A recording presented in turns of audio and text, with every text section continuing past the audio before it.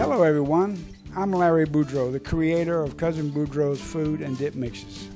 Today, my wife Caroline and I want to cover quick step by step directions on how to make Cousin Boudreaux's Creole chili. It's easy and easy to make with Cousin Boudreaux's mixes. Look at our website, www.cousinboudreaux.com, for the link to a detailed video showing Caroline and I prepare this Cousin Boudreaux chili mix in real time. Caroline wants me to make sure that I tell you to spray your pots and pans with a good vegetable spray before cooking so that your cleanup will be easy. First of all, we have found that it's best to use about a pound and a half of ground chuck.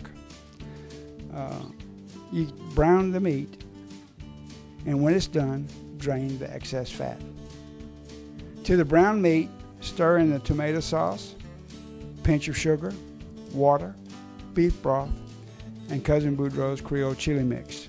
If you like, this is where you can add the chili beans. Take the mixture without a lid on the pot, bring it to a boil, and then lower the heat to medium and serve it when the texture of the chili is to your liking. And what I mean by this is the longer you cook, the thicker it gets. The chili is a good basic chili, and most folks like it just the way it is. Some like to add beans and perhaps some uh, rotel tomatoes. If you'd like to try it over pasta with a little cheddar cheese sprinkled on top, that's good too. Look at our website and you'll find a great enchilada recipe. At our house, we always cook several packs of Cousin Boudreaux's chili mix at a time because it serves about three people and it's perfect for freezing for future meals. If you haven't tried chili with Cousin Boudreaux's hot sauce or firecrackers, you don't know what you're missing.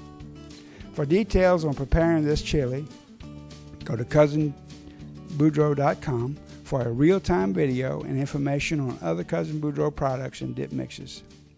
Thank you for watching. Bon chance.